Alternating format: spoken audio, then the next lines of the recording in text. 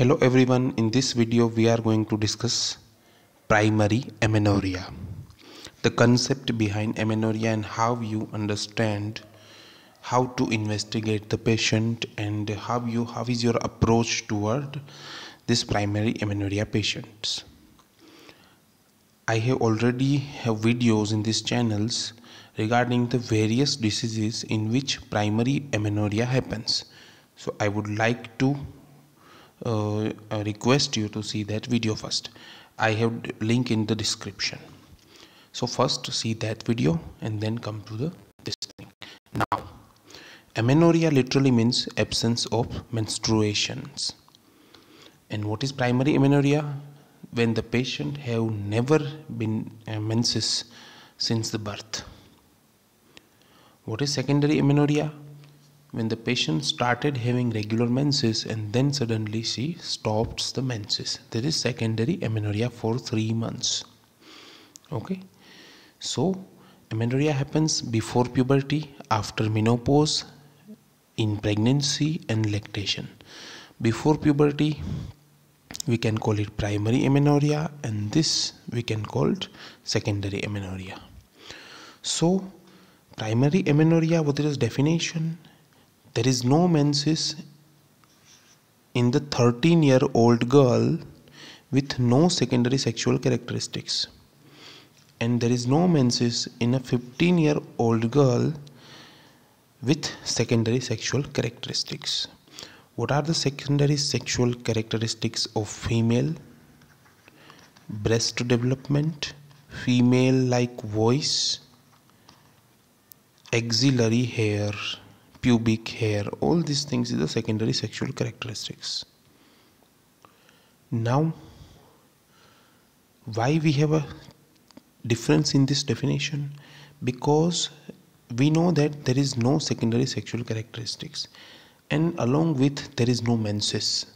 So there is something very very very problematic is there with this person. So we try to uh, investigate that patient earlier than those the patient who have secondary sexual characteristics. Because you will know in few uh, in this video that the secondary sexual characteristics that is breast development requires estrogen and progesterone. Female voice require estrogen progesterone. Pubic and axillary hair require androgens so if we have secondary sexual characteristics we are okay that yes there is some estrogen and progesterone. Maybe some another problem happening that's why the menses is not coming. So we just want to wait for 2 years. If the secondary sexual characteristic is there if after 2 years even the patient does not have that menses then we have to investigate the amenorrhea now I am talking about the very basic concept never ever uh, discuss in the in the routine those uh, traditional classes. That is for a menses a female wants menses then what is required what is the basic requirement for menses?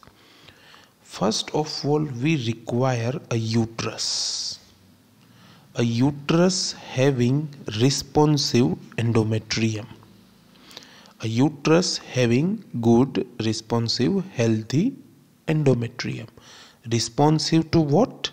Cyclical estrogen and progesterone. Along with the clear outside uh, pathway to outside that is outflow tract we need these three things for menses. Do we need ovaries for menses? Do we need? Suppose if some patient have no ovary or suppose if, the, if some patient the ovaries are removed for some disorder of ovary let's say tumor of ovary then it's not possible for a female to have menses. Yes it is possible if you give the estrogen progesterone from outside. If you give estrogen and progesterone as a medication then this patient can actually menstruate. Why? Because for menstruation we don't require ovary. We require estrogen and progesterone. But ovary produces the estrogen and progesterone cyclically. That's why we require ovary in menses. But if the ovary is not there if you give estrogen progesterone from outside also then also the patient will have a menses. But for menses you need first of all is a uterus with responsive endometrium. And a clear pathway there should be no outflow obstruction. Okay so these three things are the very basic thing for menses. And if we don't have this menses we need to investigate some uh, some symptoms or some things. Now if you see here cyclical estrogen progesterone will be provided by this sequence. Hypothalamus will secrete GnRH to pituitary. Pituitary will secrete estro, uh, FSH and LH GnRH agonists FSH and LH and this will act on ovary. Ovary will in term of response to FSH and LH will produce estrogen and progesterone. This estrogen and progesterone go and act on endometrium and endometrium will shed and regenerate and degenerate so this will have a menses so this is the basic pathway. Now traditionally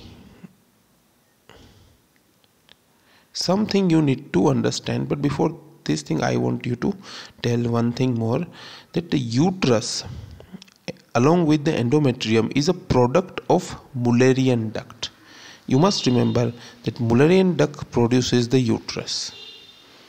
And if you can just imagine for a second it is odd i know but if you want to just imagine to just remember that think this mullerian duct as a irritating guest until and unless you don't stop this guest this guest will come to your home. You need to stop that guest. So mullerian ducts needs to be inhibited by AMH anti-mullerian hormone secreted by the Sertoli cells. And the Sertoli cells is present in testis. And testis will be only developed when there is a Y, micro, y chromosome is present. So if we don't have AMH then the Mullerian duct will be there. Whether it is a male or female the Mullerian duct does not care. It just care about AMH if you don't have AMH even if you are a male but you don't have good testes which or with Sertoli cells they can produce you. They cannot produce enough AMH and this will lead to Mullerian duct development So now there is a traditional way to understand primary amenorrhea. I don't like this traditional way, but again the questions asked according to this traditional way of explanation of compartments, so-called compartments. So we have to discuss like that here. So again the CNS, central nervous system that is brain will send messages to the hypothalamus the hypothalamus in turn uh, generate the GnRH agonist. And this GnRH agonist will go and act on pituitary. So pituitary will generate FSH and LH FSH and LH will be generated. This will go and act on ovaries. And on ovaries will in turn generate estrogen and progesterone. They will act on uterus endometrium and uterus will have a clear cut outway of uh, outflow pathway. Here gnrh agonist is not there. Sorry there will be uh, it's called um, i don't know something it's called. The hypothalamus secretes something that go into the pituitary. Okay. It's called grh sorry GRH gonadotropin releasing hormone. And it's not GnRH agonist. It is the drug we use when we have to induce FSH and LH sorry for that. Now let's see the compartment division. Uterus has been given the compartment number 1 ovaries are given the compartment number 2 pituitary in term given the compartment number 3 and the hypothalamus and CNS given the compartment number 4 so in this first compartment there is some problem in this compartment. So this will lead to primary amenorrhea. So what are the problems in each compartment?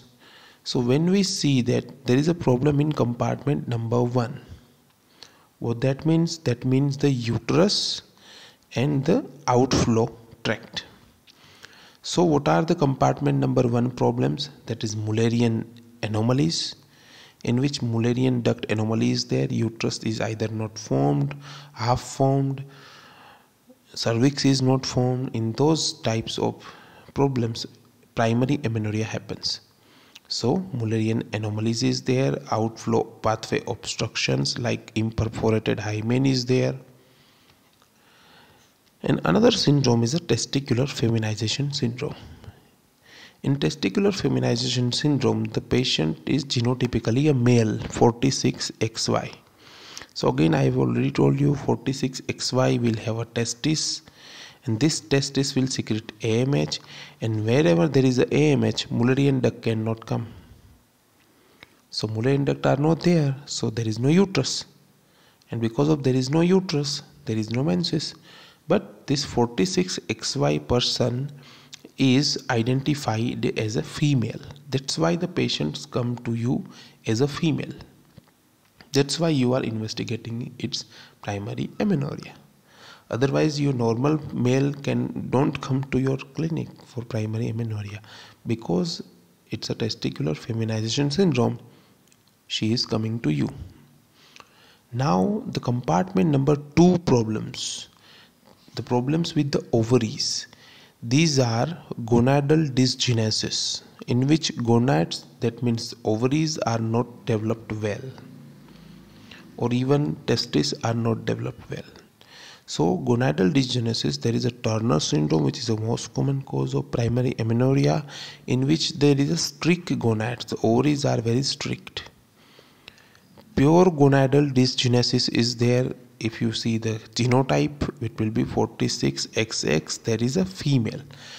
The female is there, the genuine female is there, but the ovaries are not well developed.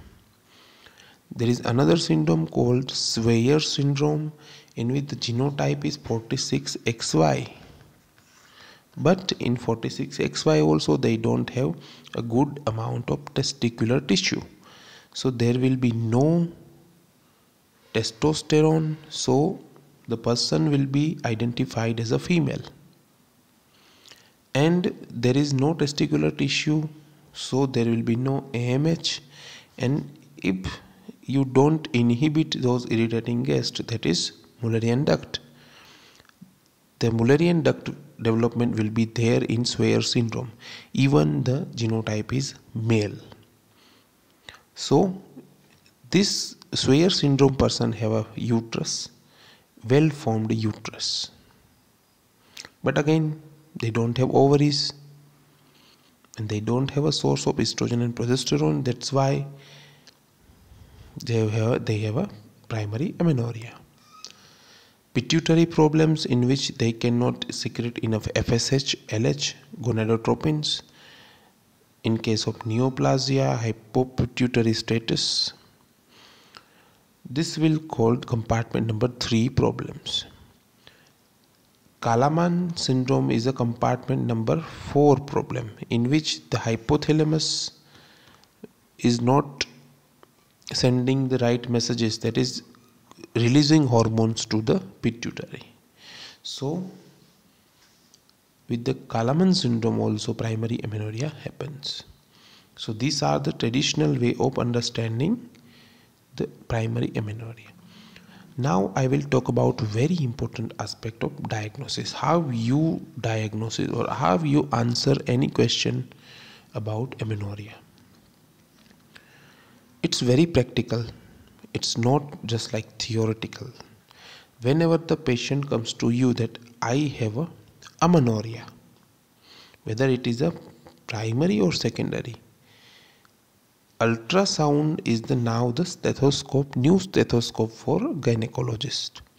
First investigation you would like to do is ultrasound because it is readily available and it's not harmful and it can be done very easily and even reproduced. So ultrasound is a new stethoscope for gynecologists. So you would like to go for ultrasound instead of those hormonal profiles and like that. No you don't do this thing. You do ultrasound. The first investigation you do is ultrasound remember.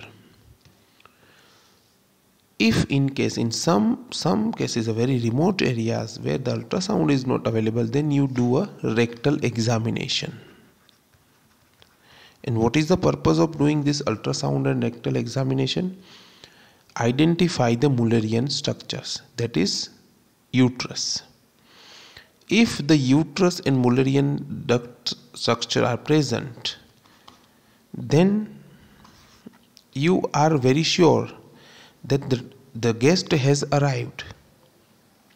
Why the guest has arrived? Because there is no inhibition. So AMH is not there. AMH produced by Sertoli cells of the testis. So either there is no testis or there is testis but not working. So these two uh, differentiating in these two methods we have another now readily available investigation that is karyotype. Karyotype is also now readily available so we don't go on those very difficult hormonal profiles and like that. We just go for karyotype. Karyotype will understand what uh, what the real genetic thing is there. If it is 46xx that means it is genotypically a female. But still there is no testis. Uh, it is a female and obviously there is no testis. Okay. So why it is happening the ut- uterus is there the person is a female. Then why menses is not coming? Because it comes the compartment number 1 is fine. So the things goes to compartment number 2 that is ovary problems. Pure gonadal dysgenesis is there. The gonads ovaries are not well developed. Or sometimes outflow tract obstruction so it is a female completely now if you got the karyotype 45XO, then it's a diagnostic of Turner syndrome. You don't need to do any other test for diagnosis. Then comes if the person's uh, karyotype comes 46XY. Remember, 46XY means she is a genotypically a male, but again she is identified by the society as female. Then you have only two options. Which are two options? Androgen insensitivity syndrome and Swyer syndromes. But in the androgen insensitivity syndrome there is there is uh, testis there is testis. Well working testis is there. So if the testis is working then AMH is there so AMH will not allow to produce the uterus. So only one option is there, Swyer syndrome. So if the karyotypes come to 46XY, then we can diagnose the Swyer syndrome is there. You are right. Now if see if you do your USG and if you don't identify any uterine, uterine structure or Mullerian duct structure, what does that mean? that AMH is present now. That's why we don't have a Mullerian duct. Okay. So, if the AMH is present, then there should be a testis. and if we do a karyotype in this thing we only can identify that there is a 46xy in which the 46xy will make that the person is a male and the person don't have even uterus but still it is identified and secondary sexual characteristics are there of female. So it is a diagnostic of androgen insensitivity syndrome. One condition is there that if the testis is even not uh, present and if the uterus is even not present then there is one possibility of MRKH that is uh, Mayer-Rokitansky Kuhar syndrome uh, owner syndrome. So this MRKH syndrome in which there is a complete Mullerian dysgenesis. So the karyotype will be again 46xx so if you see that that the that the female don't, don't have uterus despite of being a female then you should go with the MRKH so it's a very easy thing that first investigation is your ultrasound and the second investigation is karyotype. The, this both investigation will generally identify most of the problems. Then comes to the secondary sexual characteristics. For secondary sexual characteristics of female you need uh, some uh, some factors. Like for breast development you need estrogen progesterone and for estrogen progesterone you need ovaries. Or it can be formed from another hormones like testosterone. The female voice you need it will be done by estrogen progesterone. The pubic and axillary hair you need it is done by androgens. So now you see uh, how the pubic and axillary hair are developed. If there is no pubic and axillary hair absent pubic and axillary hair then you can diagnose that is androgen insensitivity syndrome. Because androgen is there but cannot act. So diagnosis is androgen insensitivity syndrome. If there are present, that means you are heading towards the MRKH because you see that that the person is of 46xx the female there are secondary sexual characteristics also there. But still you don't have a uterus in that thing. Why? There are ovaries also. So your diagnosis will become MRKH. If there are sparse in uh, hair, that means not enough to be called absent. So pubic hair are sparse, so in which you will identify that it is a it may be Turner syndrome, it may be gonadal dysgenesis, it may be Swyer syndrome, and it can be Kallman syndrome also in those things you will I, uh, have a sparse axillary hair so this is the very basic thing for investigation and understanding the primary amenorrhea. I have described each and every syndrome in previous video. Just go for that video first. Thank you